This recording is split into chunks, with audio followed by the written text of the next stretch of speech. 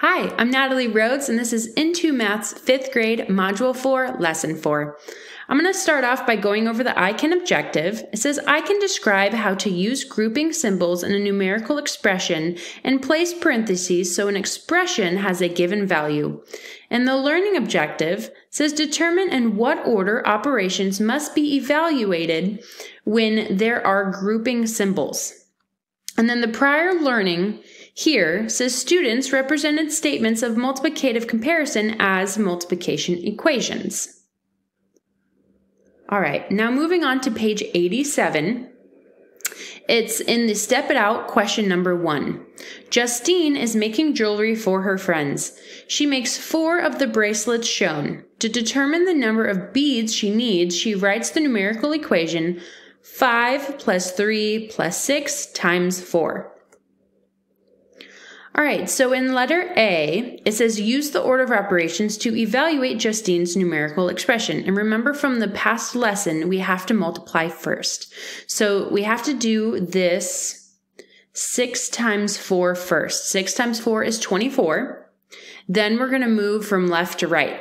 So right now we're going to have, and I'm going to make a little note up at the top here, we're going to, it's going to look like this 5 plus 3 plus 24.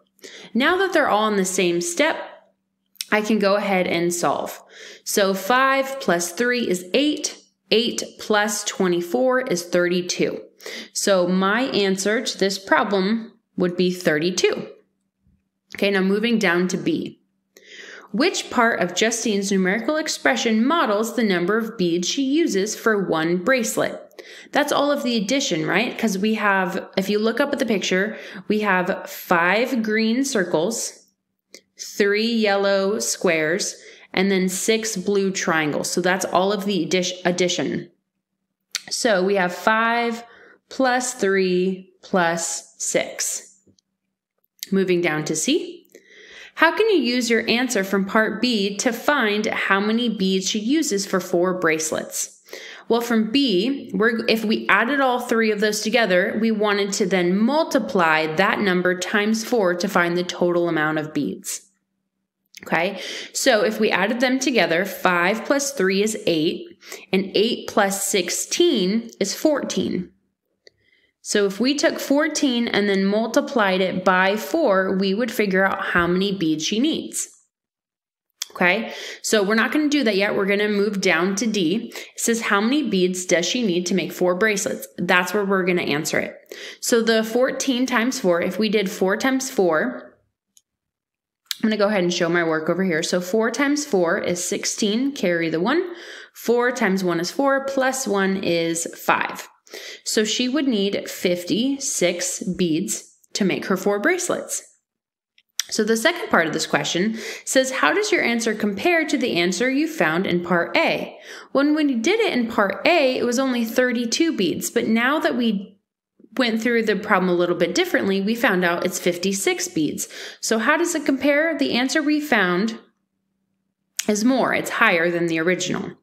So in E, how can you rewrite 5 plus 3 plus 6 times 4 with parentheses so that it models the number of beads she needs to make four bracelets. I'm going to go ahead and just pause real quick and explain what's going on. We purposefully found the wrong answer in A because there's no parentheses shown in the problem in the word problem above, right? So if we followed order of operations, we needed to multiply the 6 times the four first, and then we added the 5 and the 3. That was incorrect. We needed to find out how many beads total in one bracelet, take that total, and then multiply it times four. The way to add all those numbers first before we multiply is to add in parentheses because our parentheses is step one in our PEMDAS in our order of operations. So we have to add in those parentheses in order to solve them first. Okay. So what we want to do here in our problem is figure out how do I get all those numbers together before I multiply. So I need from B, I need my five plus three plus six total first before I multiply. So what I'm going to do is I'm going to add parentheses there so I can solve that first, then move to my step two, which is multiply and divide.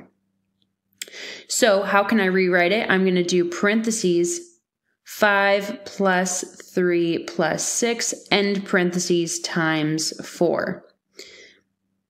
All right, so we're going to use this information and move on to the next problem. So I'm going to move over to page 88 and I'm just going to zoom up on problem number two.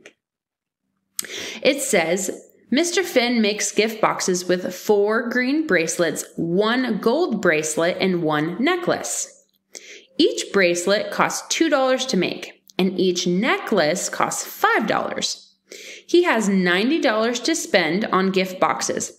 How can you model the number of gift boxes Mr. Finn can make using a numerical expression?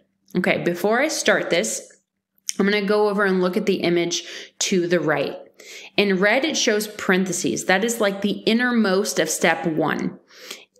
And then on the outside in blue, it has brackets. And then in green, it has braces. So this is kind of like multiple steps in step one. So if you see all three of these, you're going to solve what's on the inside first, and then you're going to move your way out in layers. So you're going to solve what's in the parentheses, then you're going to move to the brackets, then you're going to move to the braces. Okay. And then you would solve anything else if you're on the outside of those um, markings. So, and I'm going to work through this all with you since this is a new topic. So A says parentheses. So write an expression in parentheses to represent the total number of braces in one box. Okay, so what I need to do is I need to go back up to the top and I'm going to mark up this problem with some different colors and try to figure out what's going on in those parentheses. So because the parentheses is in red, I'm going to go ahead and use red to mark it up.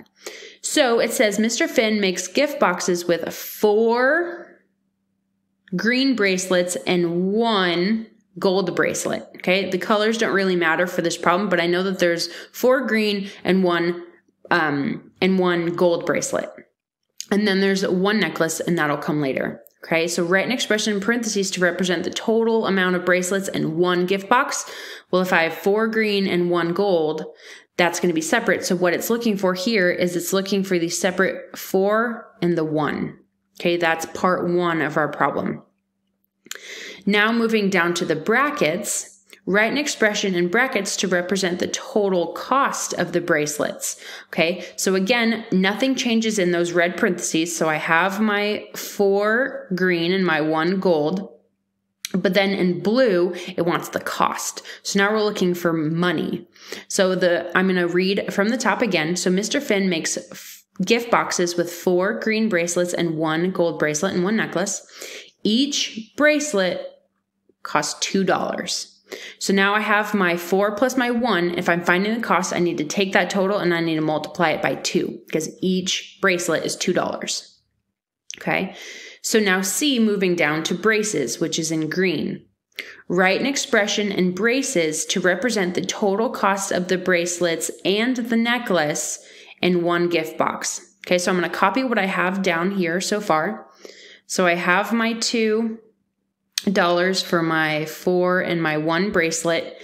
Now it's looking for green for the necklace. So remember there was only one necklace. Oops, I'm going to redo that circle a little bit better. There was just one necklace and that necklace costs $5. So what I'm going to do here is I'm going to show that since I'm talking about cost and there's only one of them, I'm going to show it as five in my problem.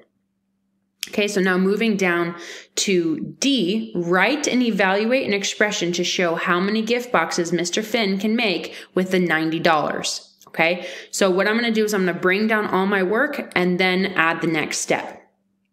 So remember, I had my two here, my four, and my one and then my five. So remember that two was the $2 for the four green bracelets, the one gold bracelet, and the five is the amount for that one necklace.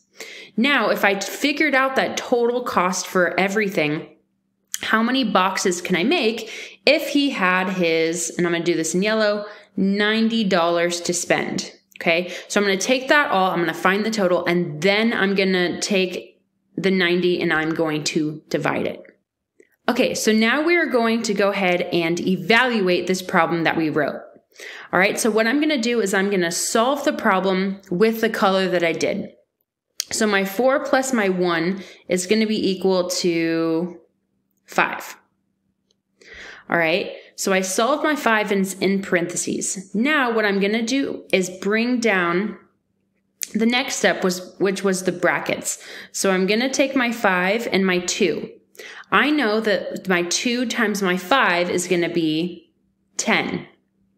All right, now I'm going to move out to my braces in green, which is plus 5. And I know that my 10 plus my 5 is equal to 15. Okay, so everything inside of my braces is equal to that 15.